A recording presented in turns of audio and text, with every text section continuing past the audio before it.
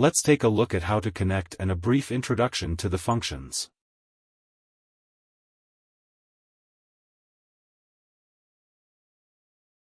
The black terminal is connected to the three wires of the three-phase load-unloading, and the red terminal is connected to the two wires of the PWM.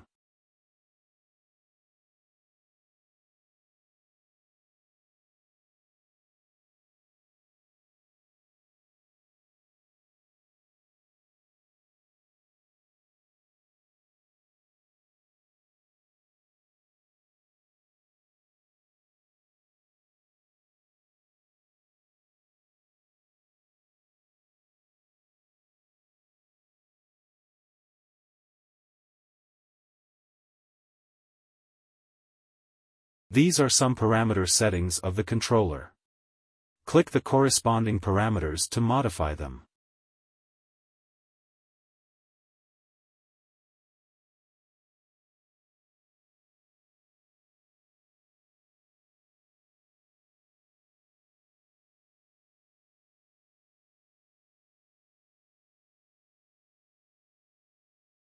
Press the button to start the emergency stop, turn it to the right to release the emergency stop, and then press the reset button.